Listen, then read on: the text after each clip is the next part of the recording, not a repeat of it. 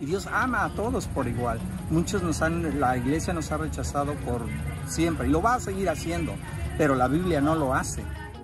Una comunidad cristiana que radica en Tuxtla Gutiérrez respaldó a la comunidad LGBT en la marcha realizada este fin de semana en la capital chiapaneca. Somos una comunidad, una comunidad cristiana, llamados tabernáculos de adoración. Es algo que Dios ha levantado en el corazón de nosotros para compartir el amor de Cristo. La palabra de Dios dice que Dios su Hijo unigénito para que todo aquel que en él crea no se pierda, más tenga vida eterna. Y Dios no puso condiciones en ese texto, es un texto universal. Dice todo aquel que crea. La única condición es creer que Dios es maravilloso. El Ministerio Tabernáculo de Adoración es una comunidad de cristianos incluyentes que busca alcanzar nuevos fieles, sin importar la identidad de género o preferencias sexuales. La Biblia, si la estudiamos como es y la escudriñamos como es, nos daremos cuenta que seis textos condenan la homosexualidad que fueron mal traducidas contra miles de textos que hablan de un amor maravilloso, un amor inclusivo de Dios, porque Dios no hace acepción de persona, lo dice la Biblia. Y ahora está abierto a los brazos de Dios para que nosotros podamos acercar y tener una relación con Dios. Por eso se acerca también a la gente gay, a la comunidad gay, a la LGBT, para que sepan que Dios nos ama a todos.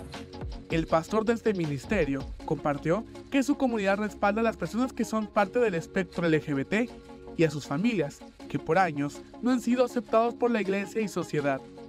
La religión es la que ha hecho que la gente, mucha gente LGBT inclusive se haya suicidado a través de muchos años.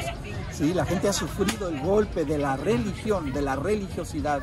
¿Por qué? Porque no hemos entendido claramente la palabra de Dios. Esos seis textos que condenan, ¿sí? esos seis textos que condenan a la gente homosexual no los han estudiado debidamente como lo se debe de estudiar en su originalidad, ¿sí? Entonces es por eso que la gente lo ha malinterpretado y la iglesia lo ha malinterpretado y no lo va a aceptar porque la iglesia no le conviene. Hizo un llamado a la comunidad LGBT para que se acerquen a este ministerio de adoración o a sus religiones, independientemente de cuáles sean sus creencias que Él no tiene ningún inconveniente en aceptarte tal y como eres, que te puedes acercar a Él. Con toda honestidad, con toda sencillez, con todo lo que tú tengas, acércate a Dios. Él quiere tener una relación personal contigo, porque lo más hermoso de Dios que quiere de nosotros es nuestra salvación de nuestras almas. Esto se va a acabar, pero el alma es lo que perdura. Y el alma, el alma no tiene género. Para Alerta Chiapas, Eric Chenomli.